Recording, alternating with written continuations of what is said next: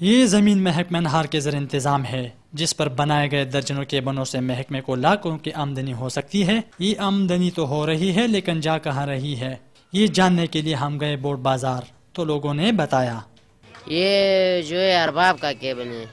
ये अरबाब का नाम तो मुझे पता नहीं है, मगर ये उसको हम किराया देते वो फिर हुकूमत को देते ये उसका हिसाब है, हमारा उससे कोई पता नहीं, मगर तेरह हज़ार रुपये किराया है, मुझे ये पता है कि हम देते हैं उसको।